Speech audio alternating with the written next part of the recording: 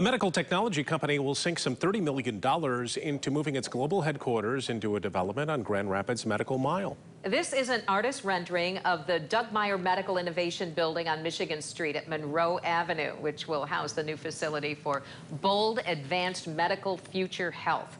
The company performs radiation therapy used when treating cancer patients. The company's expansion is expected to create more than 200 jobs.